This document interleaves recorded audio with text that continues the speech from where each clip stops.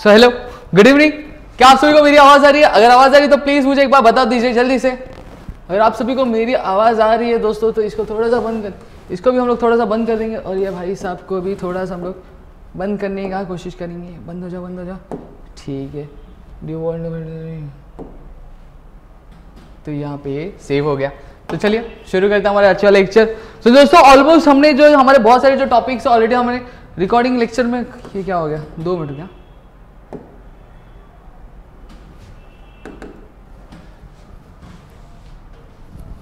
जल्दी जल्दी से अगर दोस्तों के साथ शेयर नहीं किया तो दोस्तों जल्दी से शेयर कर दो, फिर हम जो लेक्चर है, वो स्टार्ट करेंगे। आवाज़ आ रही है तो एक बार फटक से चार बॉक्स में बता देना। जल्दी से बता देना, जल्दी से, फिर इस तरह से हम लोग जाएँगे। यहाँ पे यहाँ पे जाने के बाद, ये रहा। फ़ाइल अपना खोल लेंगे।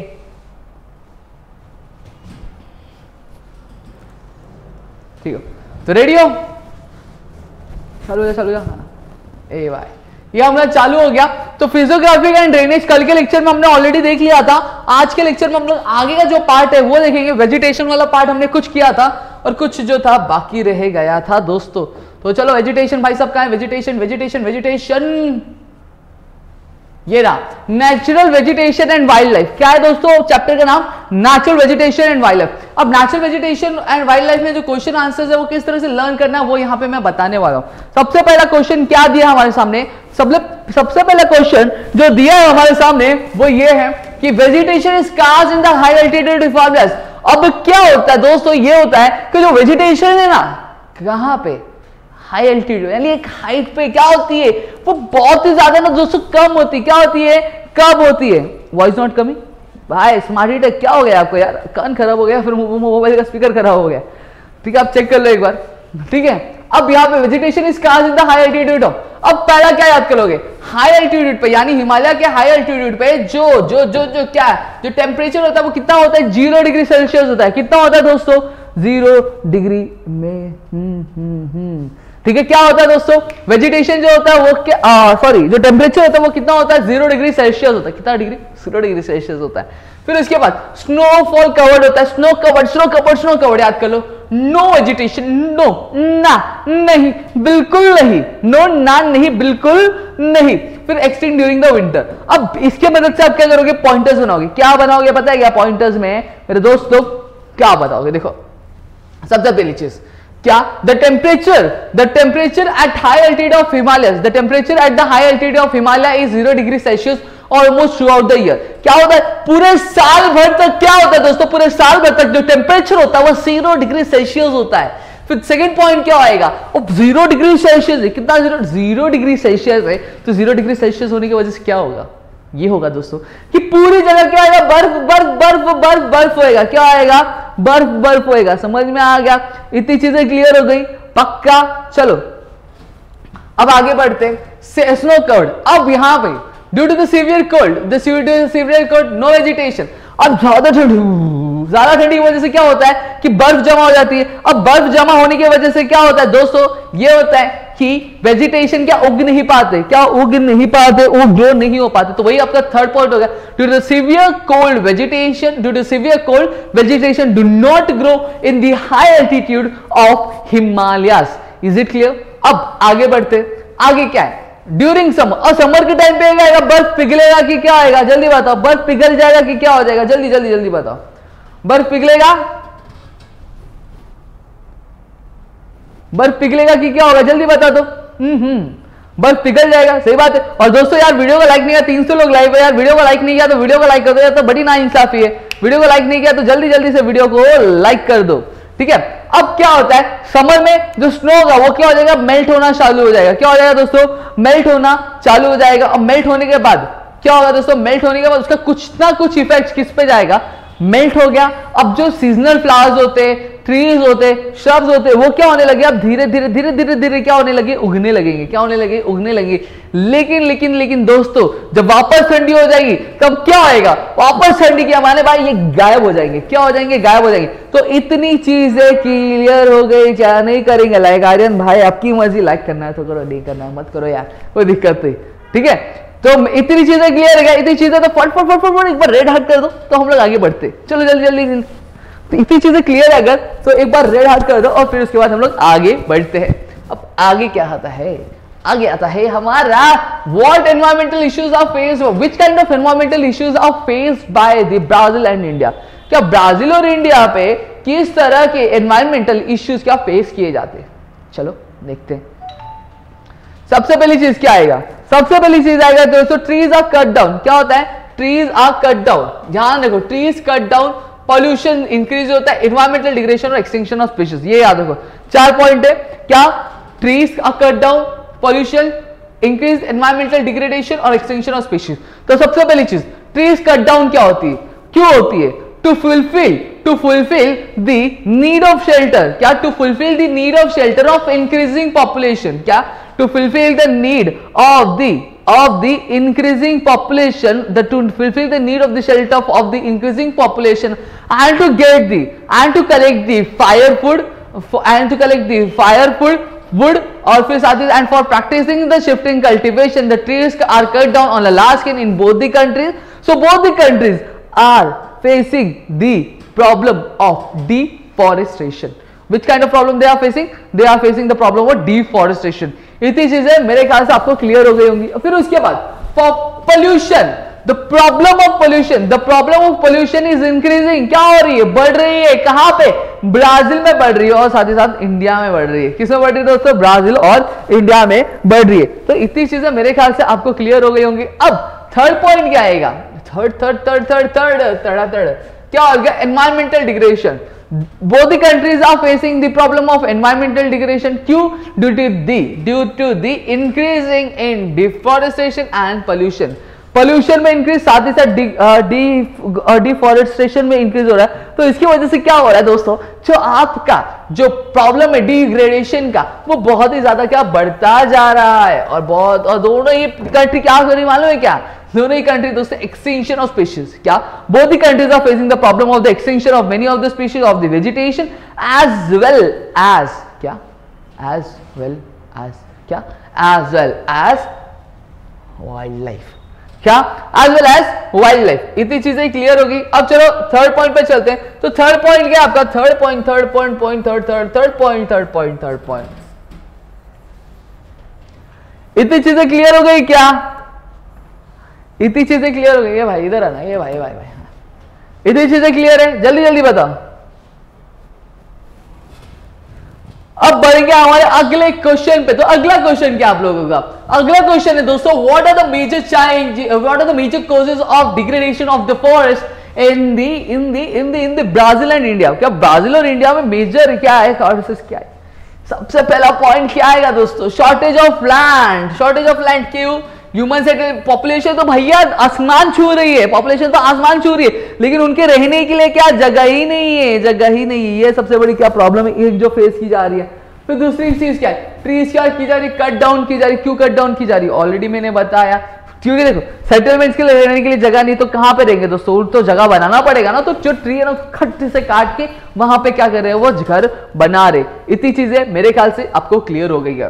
अब रोका क्या एक एग्रीकल्चर टाइप का प्रैक्टिसिंग है जो अब ब्राज़ील में किया जाता है और जूम क्या एक एग्रीकल्चर टाइप की प्रैक्टिस है जो इंडिया में की जाती है। सबसे पहले क्वेश्चन सबसे पहला क्वेश्चन क्या jhum is a kind of agriculture practice which is performed in dash क्या आएगा आंसर चार बॉक्स में जल्दी बताओ, ठीक है? अब उसके बाद जोका is a type of agriculture which is practice in dash इसका क्या आंसर आएगा? जल्दी बताओ। इतनी चीज़ें क्लियर हो गई होंगी। अब फायरवुड एंड डोमेस्टिक नीड्स ये दिया हुआ है। हंसना दोस्त। ठीक है? तो इससे क्या बन जाएगा?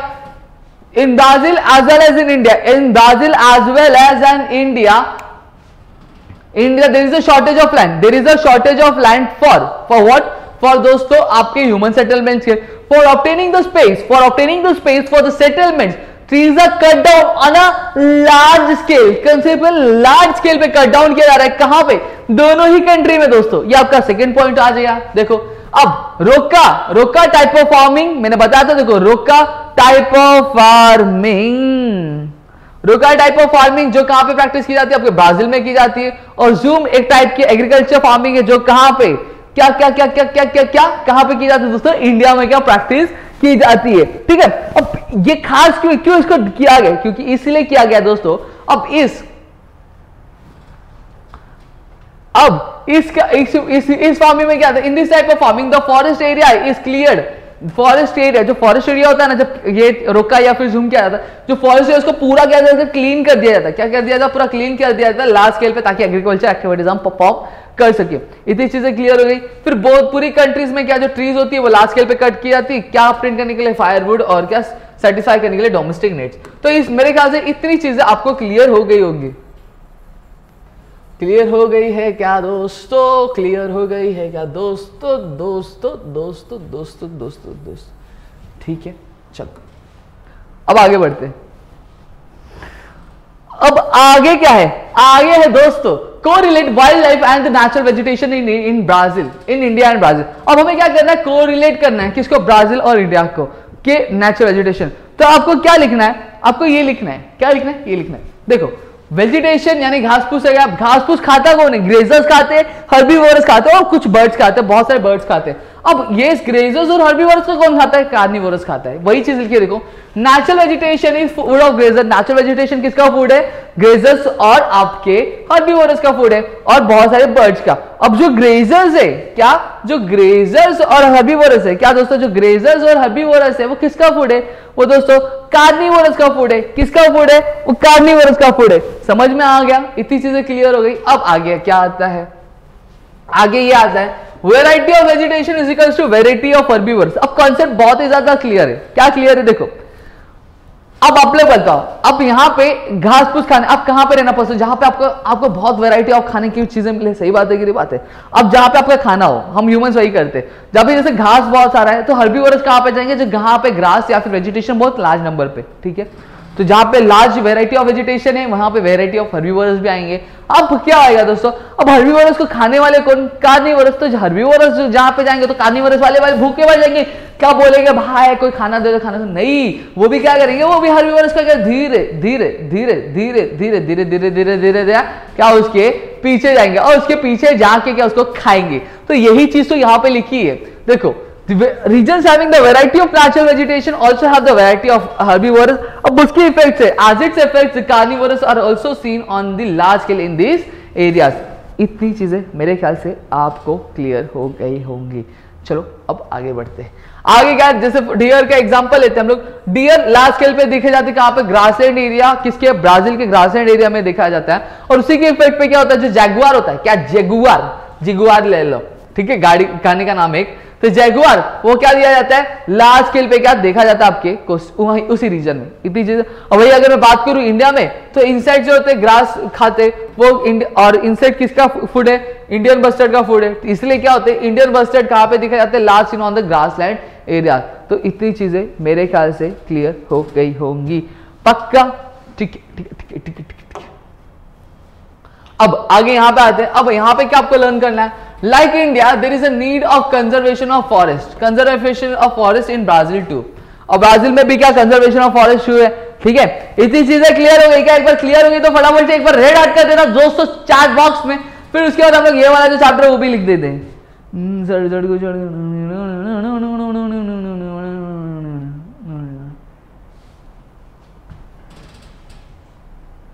ठीक है?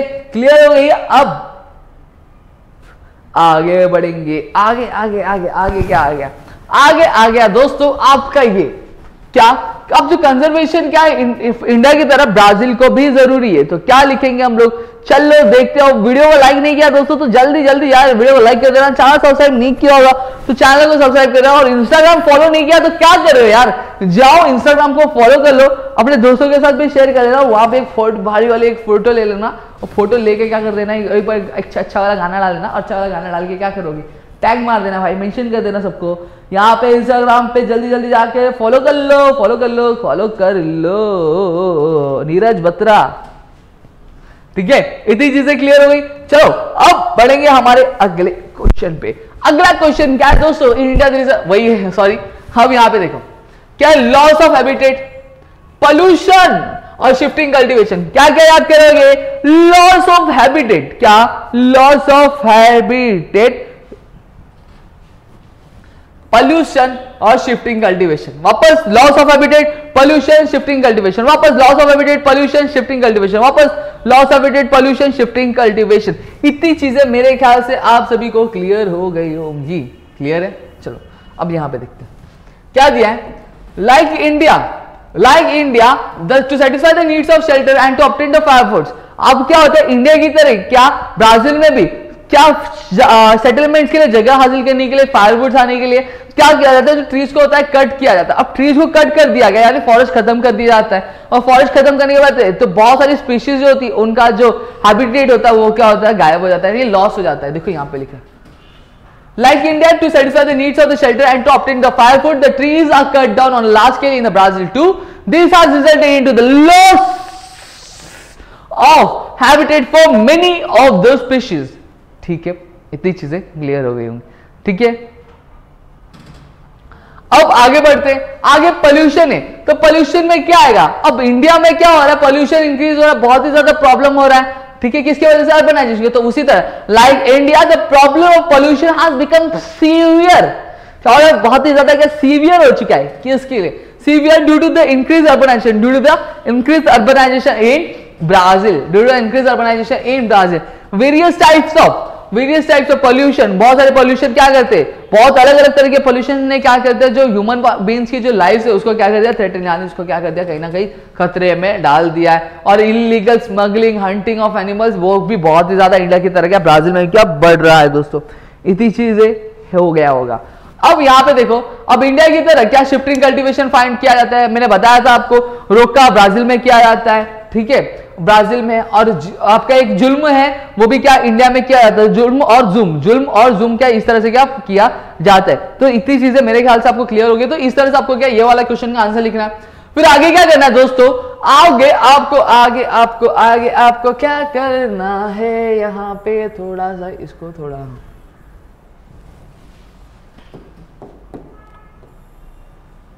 हाँ। यहाँ पे पूछा गया है why does the why does the deciduous type of forest is almost covered in India ठीक है? क्यों किया गया? तो चलो, देखते अब, पहले याद कर लोगे ट्री शेड लीव्स पहले ट्री शेड लीव्स फिर उसके बाद क्या होता है? रेट ऑफ़ एवोपरेशन क्या हो जाता है? कम हो जाता है। रेट ऑफ़ एवोपरेशन क्या हो जाता है? कम हो जाता है।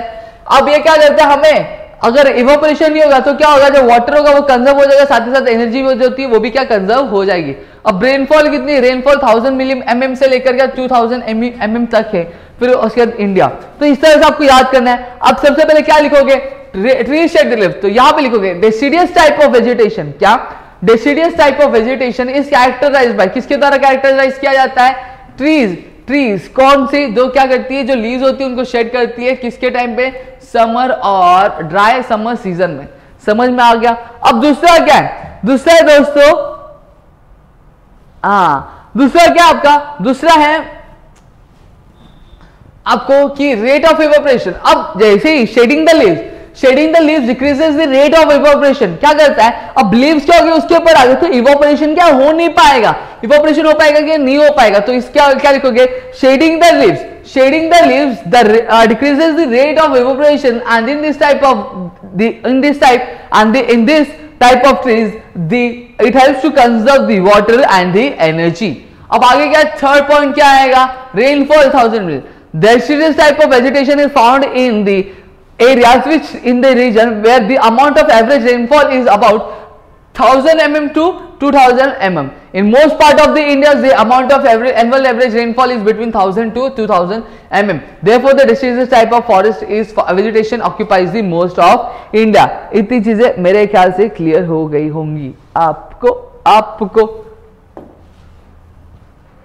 अब आगे क्या? Wide variety of species of insects is found in Brazil और ब्राज़ील में क्या किया जाता है? वाइड वेराइटी ऑफ़ स्पीशीज क्या फाइंड की जाती है? क्या हो जाती है? वाइड वेराइटी ऑफ़ स्पीशीज क्या फाइंड हो जाती है? पहले वाला से समझ गया, क्या समझ में आ गया, क्या क्या क्या क्या क्या क्या?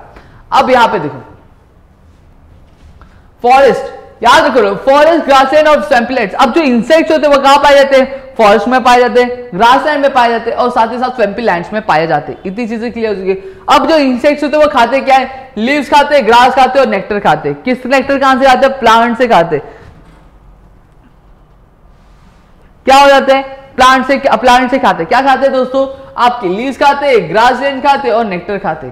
इतनी चीज़ें क्लियर हो गई। अब वही चीज़ तो आपको लिखनी है। अब जो एवरग्रीन फॉरेस्ट रेन फॉरेस्ट जो होता है, वो कहाँ पे? आपके नॉर्थ डायरेक्शन में ब्राज़ील के। ठीक है? फिर इसके बाद ग्रा, जो ग्रासलैंड एरिया है वो कहाँ पे पाया जाता है? सेंट्रल पार्ट जो होता है वहाँ पे पाया जाता है या फिर Paraguay Parana. Paraguay Parana river basin के यहाँ पे पाया जाता है। फिर इसके बाद स्वैम्पीलैंड कहाँ पे पाया जाता है? पंटनल क्या पंटनल रीजन जो है ब्राज़ील का वहाँ पे क्या पाया जाता है? इतनी चीज़ें मेरे ख्याल से आप सभी को क्लियर हो गई होंगी। क्लियर है क्या? क्लियर है तो फटाफट से एक बार चैट बॉक्स में बता दो जल्दी से और जल्दी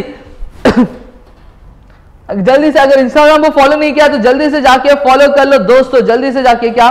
फॉलो कर लो। अगर इंस्टाग्राम को फॉलो नहीं किया तो जल्दी से जाके क्या? फॉलो कर लो, दोस्तों, और यहाँ पे दो मिनट रुकिएगा आप लोग।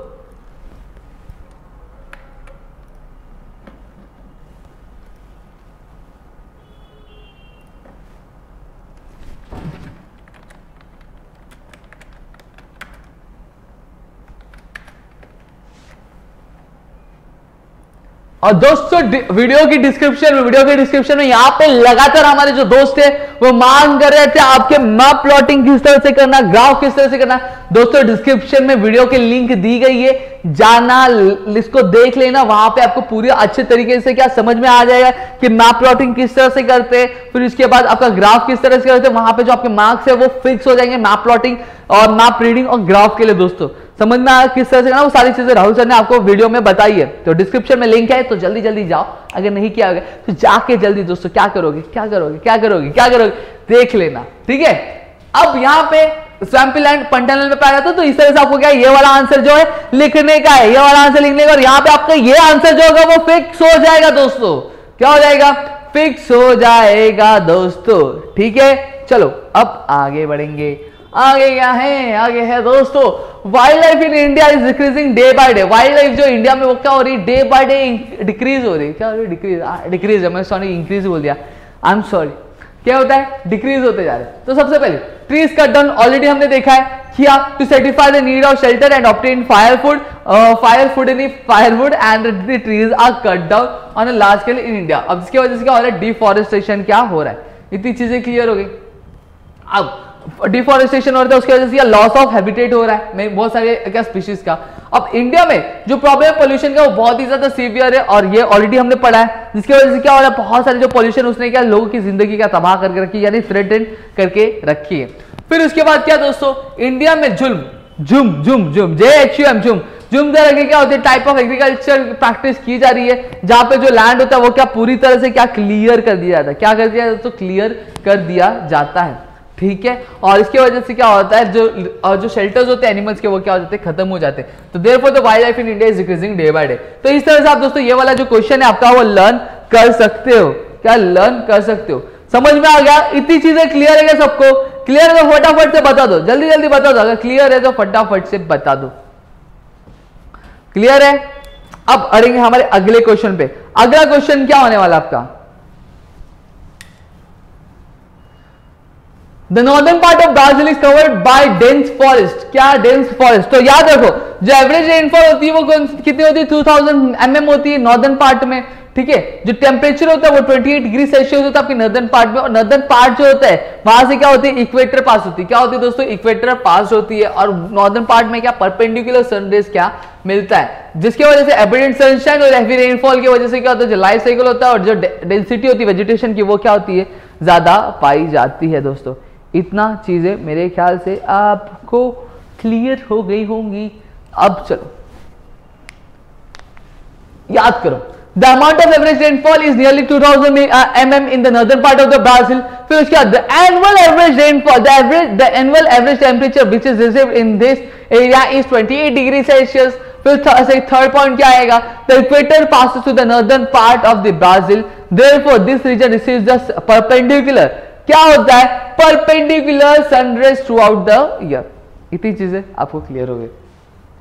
अब due to the abundant sunshine क्या अबंडेंट सनशाइन और हैवी रेनफॉल की वजह से due to the abundant sunshine and heavy rainfall the vegetation grow with the high speed in this region the life cycle क्या क्या क्या क्या? The life cycle and the density of vegetation is found to be high in this region तो आप लोग ये point की मदद से क्या कर सकते हो? ये सारा आंसर क्या लर्न कर सकते हो? इतनी चीज़ें मेरे ख्याल से आपको क्लियर अब आगे क्या आता है? पॉपुलेशन वाला चैप्टर तो पॉपुलेशन वाला चैप्टर स्टार्ट करें क्या? पॉपुलेशन वाले चैप्टर स्टार्ट करें जल्दी जल्दी बताओ स्टार्ट कर रहे क्या? जल्दी से। और साथ ही साथ दोस्तों वीडियो को लाइक नहीं किया होगा तो यार वीडियो को लाइक कर दो। चैनल सब्सक्राइब नहीं किया होगा तो चैनल को सब्सक्राइब कर दो। अपने दोस्तों के साथ शेयर कर दो, दोस्तों। और साथ ही साथ साथ ही साथ साथ ही साथ।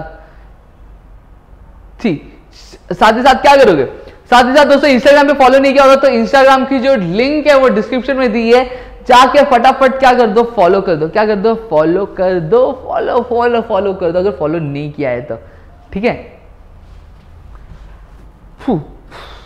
चलो, Brazil population density is very less Brazil की पॉपुलेशन डेंसिटी क्यों कम है? तो यहाँ पे पता था। जो ब्राज़ील का जो लैंड है, जो ब्राज़ील का जो लैंड है, वो क्या करता है? वो वर्ल्ड के वर्ल्ड के पूरे टोटल लैंड में सिर्फ़ 5.6 परसेंट क्या करता है? कंट्रीब्यूट करता है। वही अगर ब्राज़ील के पॉपुलेशन की बात करूँ तो वर्ल्ड के टोटल पॉपुलेशन में 2.78 परसेंट ही क्या करता है कंट्रीब्यूट कर पाता है। अब यहाँ पे क्या होता है, जो लैंड का परसेंटेज है वो ज़्यादा और पॉपुलेशन का परसेंटेज जो कम है, इस वजह से क्या होता है, जो पॉपुलेशन डेंसिटी है वो क्या कम है, ठीक है? अब क्या करोगे?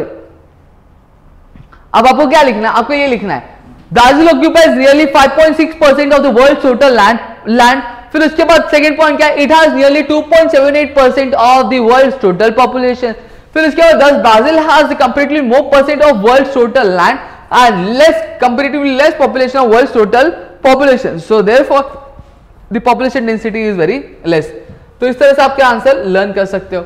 अब सेकेंड आगे क्या है? आगे क्या है?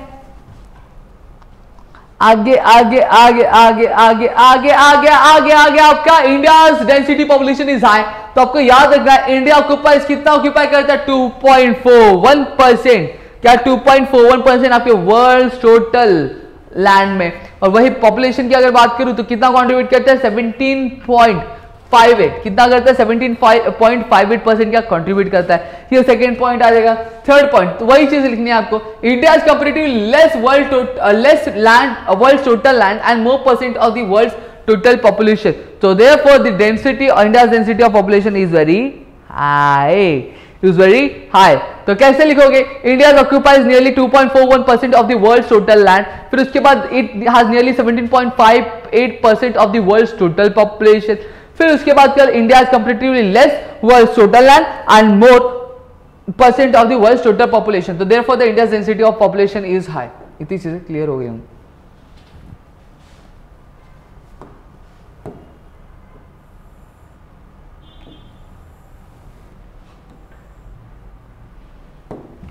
अब यहाँ पे क्या आ गया? दोस्तों पॉपुलेशन इज़ इंपॉर्टेंट रिसोर्स क्या? Population is an important resource तो बेटा,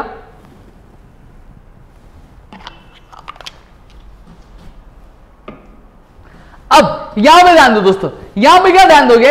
ये population is an important resource population important resource कैसे? तो चलो देखते हैं। यहाँ पे economic and social growth economic और सोशल ग्रोथ किसी भी कंट्री की डिपेंड करती है इसके क्वालिटी और क्वांटिटी पॉपुलेशन पे, क्या? क्वालिटी और कॉम्पिटिशन पे। तो यहीं पे आपको लिखना है the economic and social growth the economic and the social growth and the development of any country depends upon the quantity and the quality of population the quantity and the quality of the population इतनी चीज़ें clear हो गई। फिर इसका slow economic growth अगर आपके पास access क्या हो होगा दोस्तों?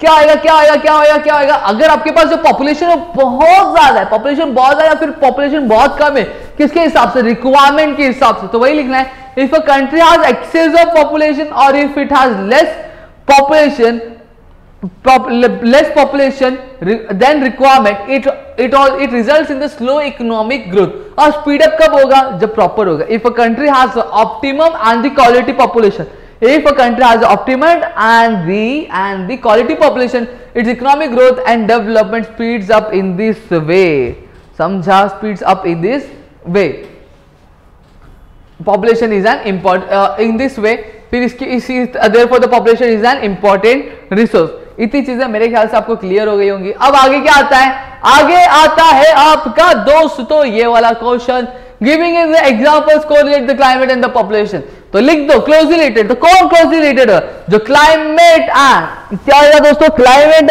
क्लाइमेट एंड किसका? Climate and the population distribution are closely related with each other फिर उसके बाद क्या आएगा? इंडिया में स्पार्स पॉपुलेशन कहाँ पे पाई जाती है? In India sparse distribution of population is found in the Himalaya and the थाजेट as Himalaya has Himalaya has the cold very very low temperature और या, और सेकंड पॉइंट क्या, था डेजर्ट में क्या होता है, जो टेम्परेचर था, बहुत ही ज़्यादा हाई होता है। फिर अगर भाई ब्राज़ील में बात करूँ तो ब्राज़ील में क्या होता है in Brazil the distribution of population is found in the Amazon river basin, receiving the heavy rainfall. इतनी चीज़ें क्लियर हो गई। अब द डेंस डिस्ट्रीब्यूशन में क्या आएगा? The dense distribution of population is form the dense distribution of population is found in the region having average amount of rainfall क्या average amount of rainfall और दी मॉडरेट टेम्परेचर इतनी चीज़ें clear हो गई। फिर उसके बाद फॉर एग्ज़ाम्पल अब इंडिया में क्या होता है? जो डेंस डिस्ट्रीब्यूशन होती है, क्या? जो dense distribution of population is found in Ganga plains कहाँ पे पाई जाती है दोस्तों? गंगा प्लेन्स पे पाई जाती है। और सिमिलरली ब्राज़ील में क्या होता है? डेंस पॉपुलेशन कहाँ पे जाती है? सर्दर्न ईस्टर्न कोस्टल पे पाई जाती है। कहाँ पे पाई जाती है? सर्दर्न ईस्टर्न कोस्टल रीजन में पाई जाती है। ठीक है? इतनी चीज़ें मेरे ख्याल से आपको क्लियर हो गई होंगी। अब यहाँ पे आ गए हमारे अगले क्वेश्चन पे। तो अगला क्वेश्चन क्या है दोस्तों? दोस्तों, ये है आपका अगला क्वेश्चन और यार वीडियो को लाइक नहीं किया तो यार जल्दी जल्दी वीडियो को लाइक कर हैं और इंस्टाग्राम पे एक स्टोरी डाल दो भाई। एक फ़ोटो लेकर एकदम भारी वाला फ़ोटो लेके एकदम स्टोरी डाल देना और एक भारी वाला गाना डाल देना। उससे पहले फॉलो कर लेना। डिस्क्रिप्शन में जो लिंक है इंस्टाग्राम की, वो दी गई है। ठीक है? अब यहाँ पे देखो। अब यहाँ पे क्या दिया है? Correlate the climate of the south eastern coastal region of the Brazil into the population distribution तो क्या आएगा? तो चलो, यहाँ पे देखते हैं। Temperate temperate type of climate कहाँ पे पाया जाता है? साउथ ईस्टर्न कोस्टल रीजन पे। तो यहाँ देखो temperate type of the climate is found in the south eastern coastal region of the Brazil फिर उसके बाद माइल्ड एंड ह्यूमिड क्लाइमेट क्या mild and humid climate average amount of rainfall fertile soils and availability of resource have helped in flourishing the agriculture industries. The south eastern coastal region of the Brazil इतनी चीज़ें clear हो गई। फिर उसके बाद favourable factor क्या लिखा है? This favourable factors this favourable factors have led to the dense distribution of population the south eastern coastal region of Brazil south eastern coastal region of Brazil इतनी चीज़ें क्लियर हो गई कि आप सभी को? अब आगे क्या लिखना है? According to census 2010 the density of population in the south eastern coastal region was maximum was maximum, more than 300 percent per square kilometer. इतनी चीज़ें क्लियर हुए। अब चलो आगे बढ़ते अगले क्वेश्चन पे। अगला क्वेश्चन आ गया आपका दोस्तों ह्यूमन सेटलमेंट्स वाला। तो ह्यूमन सेटलमेंट्स पे आ गए हम लोग, चलो। अब ह्यूमन सेटलमेंट्स में क्या है दोस्तों? देखते हैं।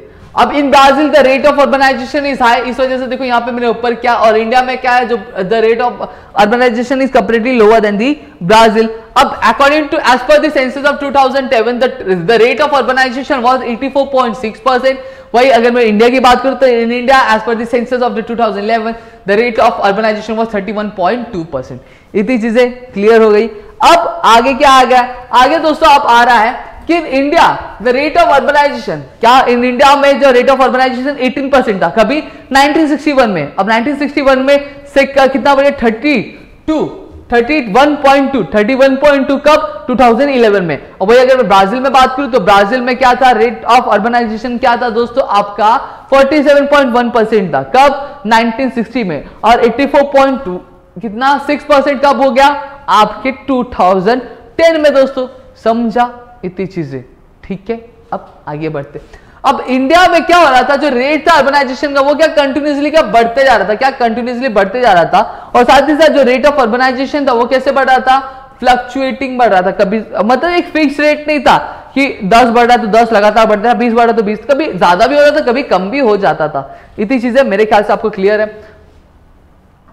यही सारी चीज़ें आपको क्या लिखनी इस क्वेश्चन के लिए। अब आगे क्या आ रहा है? आगे आ रहा है आपका दोस्तों write in detail about the human settlements in India क्या बताना हमें ह्यूमन सेटलमेंट्स क्या डिटेल में बताना है दोस्तों? तो ह्यूमन सेटलमेंट्स को चलो देखते हैं। ठीक है? क्या है? There are there exist variety in the pattern of human देखो वेराइटी इन पैटर्न लिखा है तो क्या आएगा?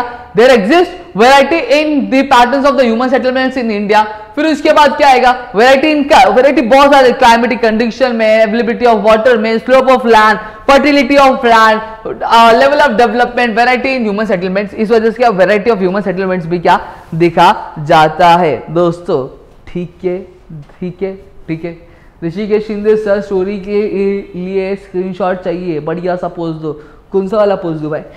कौन सा वाला कोई भी लेकर डाल दो। ठीक है? अब चलो, यहाँ पे क्या आता है कि न्यूक्लिएटेड सेटलमेंट अब in the river of Ganga basin अब न्यूक्लिएटेड सेटलमेंट कहाँ गंगा बेसिन पे, नर्मदा पे और गोदावरी बेसिन पे क्या आता है? न्यूक्लिएटेड सेटलमेंट क्या आता है दोस्तों? और वही अगर मैं बात करूँ दूसरे on the other hand the arid the arid area of कहाँ का थर्ड डेजर्ट पे। थर्ड डेजर्ट पे क्या होता है? स्कैटर्ड सेटलमेंट आता है। कैसा आता है? स्कैटर्ड सेटलमेंट्स आता है। ठीक है? अब साथ ही साथ, अब इंडिया के जो न्यूक्लिएटेड सेटलमेंट है, वो नॉर्थ इंडियन प्लेन्स पे भी क्या दिखाई देता है? और साथ ही साथ ईस्टर्न कोस्टल रीजन पे भी क्या दिखाई देते? इतनी चीज़ें मेरे ख्याल से आपको क्लियर हो गई होंगी। अब डेल्स ह्यूमन सेटलमेंट कहाँ दिखाई देता है? डेल्स ह्यूमन सेटलमेंट दोस्तों, आपको प्लेट्यू रीजन पे दिखाई देगा। नर्मदा वैली पे पैडी लैंड जो है, बिहार की वहाँ पे क्या आपको दिखाई देगा दोस्तों? इतनी चीज़ें आपको क्लियर हो गई होंगी। और डिस्पर्स सेटलमेंट कहाँ पे दिखाएगा? आपको दिखाई देगा सेंट्रल इंडिया में वेस्टर्न और सदर्न राजस्थान में, हिमालय स्लोप्स में और लैंड ऑफ़ अनइवन टोपोग्राफी यहाँ पे आपको दिखाई देगी। ठीक है। इतनी चीज़ें हो गई। अब बढ़ेंगे हमारे अगले क्वेश्चन पे। तो अगला क्वेश्चन क्या है? Write a note on the urban population in India तो अर्बन पॉपुलेशन में क्या लिखोगे?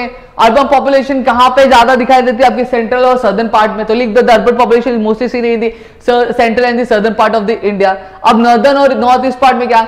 The northern and north eastern part of the India has the 0 to 40 percent की population zero and forty percent population भाई अगर मैं Chandigarh the union territories of Chandigarh and NCT located in the northern part of the India has 81 to 100 percent of the urban population फिर उसके बाद क्या आता है दोस्तों? The southern the southern part of the India has the 41 to 80 percent of the urban population फिर लक्षद्वीप लक्षद्वीप और लक्षद्वीप पे क्या? 61 टू 18 परसेंट तो यही आपको क्या लिखना है दोस्तों?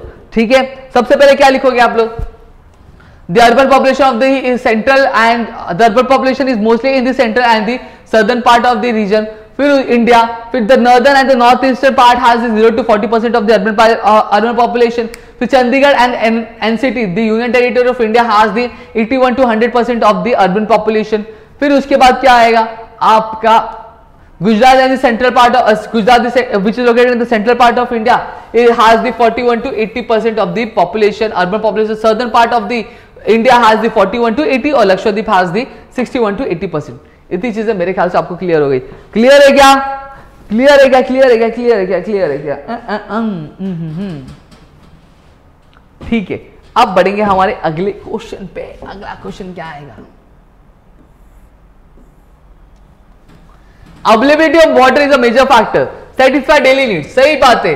जो आपका water is water is a thing which satisfy the daily needs of the human beats और साथ ही साथ क्या होता है? Water is required for agriculture as well as industries water is also required for the agriculture as well as industries फिर उसके बाद क्या होता है? Unavailability of water due to the unavailability of water the agriculture industry industries do not flourish as its effect the human settlement do not grow in that region और फिर उसके बाद क्या होता है? अवेलेबिलिटी ऑफ़ वाटर क्या होता है? Availability of water the agriculture and the industries are flourish in that region and the human settlements are also developed in such areas and many employment opportunities grow इतनी चीज़ें ही आपको लिखनी है। तो समझ में आ गया इतना चीज़? इतना चीज़ समझ में आ गया क्या? इतनी चीज़ें क्लियर हो गई सबको? जल्दी जल्दी बताओ। इतनी चीज़ें क्लियर हो गई तो फटाफट से एक बार चैट बॉक्स में बता दो। और साथ ही साथ दोस्तों, अगर अगर अगर वीडियो को लाइक नहीं किया तो यार वीडियो को लाइक कर देना चैनल सब्सक्राइब नहीं किया है तो चैनल को सब्सक्राइब करना। अपने दोस्तों के साथ शेयर कर देना, दोस्तों। ठीक है। अब आगे आते आपके। आगे आगे आगे, क्या आगे? दो minute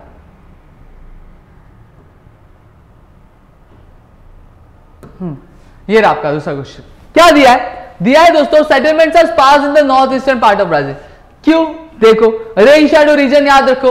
North eastern part Brazil is a rain shadow region this is the first point which you have to write अब सेकंड पॉइंट क्या आएगा? The amount of annual average rainfall क्या? The amount of annual average rainfall in this region is only कितना? 600 mm क्या? 600 mm आपका है। फिर उसके बाद क्या लिखना? Therefore this region is consider as a drought prone फिर ड्यू टू स्कैंटी रेनफॉल क्या? ड्यू टू स्कैंटी रेनफॉल क्या scanty rainfall agriculture other industries is not well developed due to scanty rainfall the agriculture and other other other industries are not well developed in this region. Therefore, this, therefore, the settlements are sparse in the north eastern Brazil. Already हमने देखा कि अगर आपको settlements अच्छा करना है तो क्या क्या होना चाहिए? पानी होना चाहिए अच्छे से। इंडस्ट्री डेवलप होनी चाहिए। एम्प्लॉयमेंट होगा, वहाँ पे तभी वो क्या होगा? डेवलप होगा। तो मेरे ख्याल से इतनी चीज़ें आपको क्लियर है। क्लियर है क्या? जल्दी जल्दी बताओ दोस्तों, जल्दी जल्दी जल्दी जल्दी जल्दी जल्दी बताओ। क्लियर हो गया होगा मेरे ख्याल से?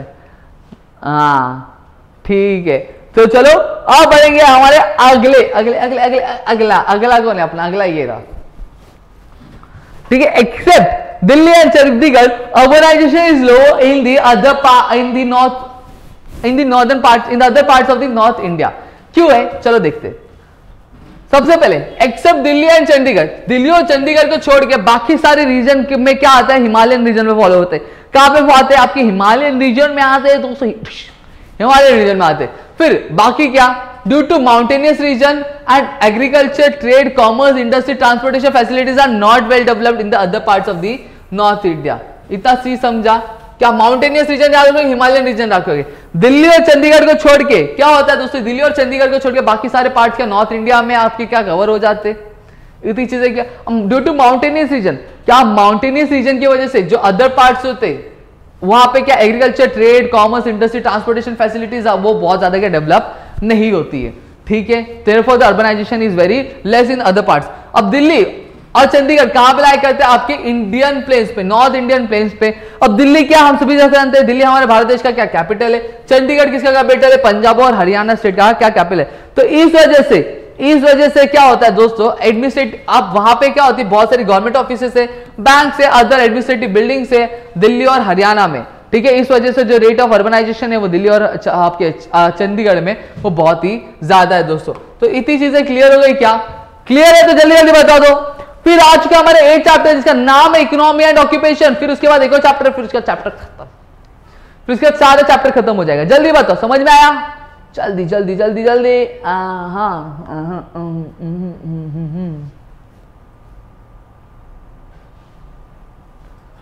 चलो, अब बढ़ेंगे। आगे क्या आ रहा है? इकोनॉमी एंड ऑक्यूपेशन पे।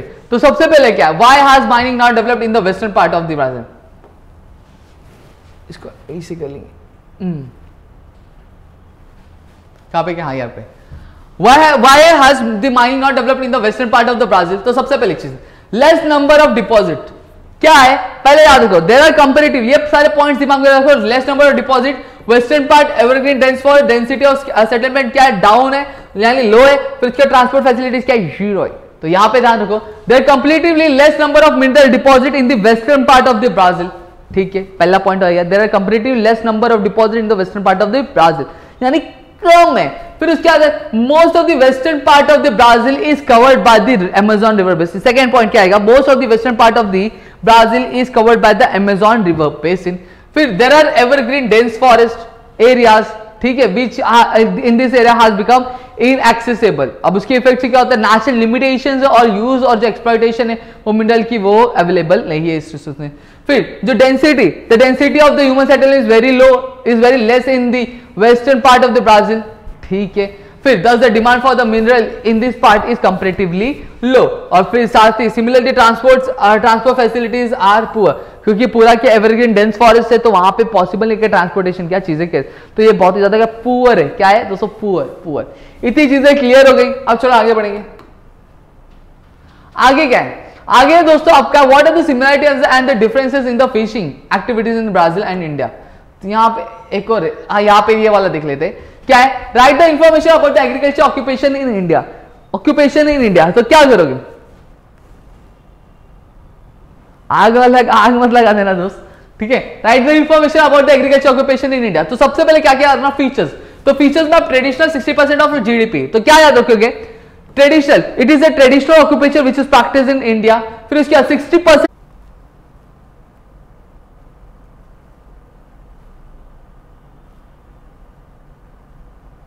ठीक है, ठीक हो गया, चलो, वो भी आपका जो नेटवर्क है वो आ गया, चलो, अब स्टार्ट करेंगे, ठीक है? अब यहाँ पे क्या क्रॉप कौन से कौन से उगाए राइस उगाया जाता है वीट उगाया जाता है मिलेट्स उगाया जाता है वेज मेज और टी उगाया जाता है, ठीक है? अब साथ ही साथ, कुछ जो गुड्स होते हैं फॉरन एक्सचेंज में क्या आता है? कुछ जो स्पाइसेस होते हैं फिर उसके बाद मैंगोज होते ग्रेप्स होते एप्पल्स होते वेजिटेबल्स होते, वो क्या किया जाता है इंडिया से एक्सपोर्ट किया जाता है बाहर की कंट्री में। तो उससे हमें क्या आते? हैं अच्छी खासी इनकम मिलती है और हमारी नेशनल इनकम में कंट्रीब्यूट मतलब हमारे वर्ल्ड मार्केट में हमारा क्या अच्छा खासा नाम बनता है एक्सपोर्ट करने पे। ठीक है? और कहीं ना कहीं हमारी इकोनॉमी पे क्या फ़ायदा भी पड़ता है इस वजह से। तो मेरे ख्याल से इतनी चीज़ें आपको क्लियर हो गई होंगी। क्लियर है? तो फटाफट से एक बार चैट बॉक्स में दो सौ बता देना। सॉरी दो मिनट हाँ, यहाँ पे what are the similarities and difference in the fishing activities in Brazil और ब्राज़ील और क्या? इंडिया में क्या सारी फिशिंग एक्टिविटीज़ सिमिलरिटीज सिमिलरिटीज क्या है दोस्तों? मराइन फिशिंग अब दोनों ही कंट्री में यानी the marine fishing is practice in Brazil as well as India marine fishing जो कहाँ पे प्रैक्टिस होती है? आपके ब्राज़ील और आपके इंडिया में दोनों में प्रैक्टिस होती है। फिर large scale large scale of fishing is carried out in the salt water in Brazil and India तो ये आपकी सिमिलरिटी सी मराइन फिशिंग दोनों जगह की जाती है लार्ज स्केल पे क्या सॉल्ट वाटर में क्या की जाती है? तो ये पहला पॉइंट हो गया। अब डिफरेंसेस क्या डिफरेंसेस दोस्तों ये कि फ्रेश वाटर कि fresh water fishing is carried out at many places in rivers canals irrigation फिर उसका tank spot as lakes etcetera in India वही अगर मैं ब्राज़ील की बात करूँ तो ब्राज़ील में फ्रेश वाटर फिशिंग क्या बहुत ही स्मॉल स्केल पे क्या कैरिड आउट की जाती है और बहुत ही स्पीडी डिस्चार्ज होता है रिवर्स का उस वजह से। ठीक है? अब प्लैंकटोन प्लैंकटोन से क्या होगा प्लैंकटोन क्या लार्ज स्केल पे आ, क्या लोकेटेड है? आपकी confluence of the warm and cold ocean currents की वजह से। और साथ ही प्लैंकटन क्या करता है? प्रोवाइड करता है क्रूशियल सोर्स क्या? फ़ूड किसके? हो फ़िश को। ठीक है? इतनी चीज़ें मेरे ख्याल से आपको क्लियर हो गई होंगी। अब आगे क्या है? आगे दोस्तों पर कैपिटा क्या per capita land availability is more in Brazil compare to India तो क्यों है, चलो देख लेते total area of Brazil the total area of Brazil कितना eighty five lakh fifteen thousand seven hundred and seventy square kilometer वही अगर मैं इंडिया की बात करूँ तो India has the thirty two lakh eighty seven thousand two sixty three square kilometer of the land इतनी चीज़ें आपको क्लियर हो गई होंगी। फिर उसके बाद क्या है? Total population of Brazil is 20 crore and total population of India is 130 crore अब इससे क्या किया जाता है? Thus compare to India Brazil has more land and less population क्या ब्राज़ील देखो ब्राज़ील के पास लैंड ज़्यादा है, लेकिन पॉपुलेशन जो कम है। इस वजह से जो पर कैपिटल लैंड अवेलेबिलिटी है, वो ब्राज़ील की क्या ज़्यादा है? इंडिया के कंपैरिजन में। क्लियर हो गया होगा मेरे ख्याल से आपको। ठीक है? अब यहाँ पे आते हैं, दूसरा क्वेश्चन क्या आता है? कि a dense network a dense network क्या एक डेंस नेटवर्क क्या किया जाता है? रेलवे पे वो डेवलप किया गया नॉर्थ इंडियन प्लेन्स में। तो सबसे पहले north Indian plains are low lying areas ये याद कर लो। फिर नॉर्थ इंडियन प्लेन्स पे क्या हिली रीजन नहीं है दोस्तों? तो यार there no there are not many hills there are not many hills in this region अब डेंसिटी ऑफ़ पॉपुलेशन जो है, वहाँ क्या है? बहुत ही ज़्यादा क्या क्वाइट हाई है। ठीक है? अब यहाँ पे क्या याद करोगे agriculture trade commerce industries are well developed in north Indian place क्या are well developed in the north Indian place और दोस्तों, साथ ही साथ दोस्तों, अगर वीडियो को लाइक नहीं किया हो तो वीडियो को लाइक कर देना। चैनल सब्सक्राइब नहीं किया हो तो चैनल सब्सक्राइब कर दो। अपने दोस्तों के साथ शेयर कर दो। दोस्तों, और इंस्टाग्राम पे फॉलो नहीं किया हो तो जाके आज दोस्तों फॉलो कर लो। इंस्टाग्राम की जो लिंक है वो डिस्क्रिप्शन में दी है तो जल्दी जल्दी जाना और फॉलो करके ही आना। अब यहाँ पे द नीड फॉर ट्रांसपोर्ट क्या need for transport of goods and as well as need of passenger transport is very high in this region क्या है? जो नीड है ट्रांसपोर्ट की वो बहुत ही ज़्यादा है यहाँ पे और साथ ही साथ, क्या साथ ही साथ? और गुड्स की भी क्या ज़्यादा है ताकि क्या गुड्स को एक जगह से दूसरी जगह पहुँचाया जा सके। इस वजह से क्या एक डेंस नेटवर्क है यहाँ पे रेलवे पे रेलवे का डेवलप किया है नॉर्थ इंडियन प्लेन्स पे। अब आगे क्या है? डेवलपमेंट ऑफ़ ट्रांसपोर्ट कहाँ पे? हाँ यहाँ पे। क्या development of transport is more important for the countries progress सही बात है दोस्तों। और ट्रांसपोर्ट क्या करता है? ट्रांसपोर्ट हेल्प करता है। Transport system help in transporting the goods from one place to another अब उसकी वजह से क्या जो मोबिलिटी होती है, यानी जो मूवमेंट होता है, वो क्या होता है? बहुत ज़्यादा क्या? बढ़ जाता है। क्या? बहुत बड़ा बढ़ जाता है। ठीक है। अब उसके बाद क्या आएगा? फैसिलिटेट अब वो फैसिलिट क्या transport facility growth of agriculture mining fishing tourism banking etcetera etcetera sectors in an economy फिर इसके बाद transportation system also facilitates the internal trade and international trade and it also increases the employment opportunities and helps in increasing the national income. Therefore, the development of transport is an important for the आपके, किसके? Countries progress में. तो इस तरह से आपको क्या point one place to another facilitate employment और ट्रेड एंड कॉमर्स ये पॉइंट्स आपको क्या करने दोस्तों लर्न करने हैं. क्या? लर्न करने हैं. इतनी चीज़ें क्लियर हो गई. अब आगे बढ़ते हैं. अब आगे क्या आया है दोस्तों? The future of tourism is bright nine chapter start हो गया। क्या दोस्तों नाइन चैप्टर भी हमारा स्टार्ट हो गया? क्या लिखना है अभी? देखो। The future of tourism the future of tourism is bright in India due to its natural diversity क्या है? देखो variety visit economy variety visit economy याद करो variety visit economy variety visit economy तो क्या आएगा दोस्तों? आपको मैं बता देता हूँ। ये आएगा कि India is home to the variety अब इंडिया में डाइवर्सिटी बहुत है. India is home to the variety of mountains plateaus rivers ghat flora fauna etcetera ठीक है? अब due to the natural diversity many tourist from the different अब बहुत सारे टूरिस्ट क्या अलग अलग कंट्री से अलग अलग जगह से क्या विज़िट करते हैं हमारे प्लेस को? तो यही लिखा है. Due to the natural diversity many tourist from the different parts of India as well as many foreign tourist visit different tourist place in India इतनी चीज़ें क्लियर हो रही अब due to tourism due to tourism many other services are also grow in an economy तो ये आपका हो गया। अब लास्ट है। फिर खत्म। ये लास्ट क्वेश्चन आपका दोस्तों। लास्ट क्वेश्चन क्या दिया यहाँ पे? कि Brazil time zone is behind India time क्या ब्राज़ील का जो टाइम जोन है, वो इंडिया के टाइम जोन से ज़्यादा है? सबसे पहला पॉइंट इंडिया इज़ लोकेट ये देखो, ये हमारा अर्थ है। ये हमारा आइडियल यानी इंटरनेशनल डेट लाइन लाइन है। इंडिया कहाँ पे लोकेटेड ईस्टर्न साइड में। तो हमने पढ़ा है कि ईस्ट में क्या होता है? जो टाइम होता है प्लस होता है और वेस्ट में क्या होता है? पीछे चलता है, यानी माइनस होता है। समझ में आगे नाइन्थ स्टैंडर्ड में हमने पढ़ा है। अब ईस्ट में क्या होता है कि international date line Indian standard time जो India India is located to the east of the international date line इतनी चीज़ें। अब इंटरना इंडियन स्टैंडर्ड टाइम से इंडियन स्टैंडर्ड यानी जीएमटी से, हमारा जो इंडिया वो कितना साढ़े पाँच घंटे आगे, कितना साढ़े पाँच घंटे आगे? प्लस में, यानी आगे में। ठीक है? इतनी चीज़ें क्लियर हो गई। अब जो ब्राज़ील है, वो इंटरनेशनल डेट लाइन के कहाँ पे? वेस्ट साइड में तो यानी टाइम पीछे चलेगा। अब जीएमटी से वो कितने घंटे पीछे? तीन घंटे पीछे। तो मैं जब 5:30 और 3 आवर्स को मैं प्लस करता हूँ तो कितना आ जाता? है 8 आवर्स 30 मिनट्स आती। तो ये आपका आंसर हो गया। तो लिखोगे कैसे? India is located the east of the ideal यानी इंटरनेशनल डेट लाइन और फिर Indian standard time is five five hours thirty minutes ahead of the GMT यानी ग्रीच मीन टाइम फिर Brazil is located to the west of the international date line with the official Brazilian time is 3 hours behind from the Greenwich mean time. Thus the Brazilian time is uh, 8 hours 30 minutes behind from the India's time. तो दोस्तों यहाँ पे हमने क्या कर लिया हमारे जो पूरे नाइन चैप्टर से वो हमने क्या कर लिया लर्निंग वर्क किस तरह से करना सारी चीज़ें हमने यहाँ पे आपको बता दी है दोस्तों तो आई होप आपको सारी चीज़ समझ में आ गई, समझ में आई है। तो दोस्तों प्लीज़ वीडियो को लाइक करना वीडियो को लाइक नहीं किया होगा चैनल सब्सक्राइब नहीं किया होगा तो चैनल सब्सक्राइब करना, अपने दोस्तों के साथ शेयर करना, दोस्तों। और इंस्टाग्राम पर अगर फॉलो नहीं किया होगा तो दोस्तों। सर आज लास्ट में एक अच्छा वाला पोज देना। कौन सा वाला पोज दू भाई? कौन सा वाला पोज एक स्माइल करता हुआ ले लो, ठीक है? तो दोस्तों, यहाँ पे क्या हो गया? यहाँ पे हमारा दोस्तों, आपका क्या हो गया? हमारे जो नाइन चैप्टर्स था नाइन चैप्टर्स कितना? नाइन चैप्टर्स सारा का सारा क्या कंप्लीट कर लिया है हमने। तो आई होप आपको सारी चीज़ समझ में आ गई समझ में आई है क्या? समझ में आई है तो क्या करो? वीडियो को लाइक कर देना चैनल सब्सक्राइब नहीं करो चैनल को सब्सक्राइब अपने दोस्तों के साथ शेयर करना। इंस्टाग्राम की जो लिंक है वो डिस्क्रिप्शन में दी है तो जाके जल्दी से फॉलो कर लेंगे फॉलो नहीं किया होगा, और एक अच्छी सी स्टोरी डाल के क्या करना है? मेंशन कर देना, एक भारी वाला गाना डाल के। तो चलिए आप मिलेंगे नेक्स्ट सेक्शन में दोस्तों। तो चलो bye bye bye bye bye bye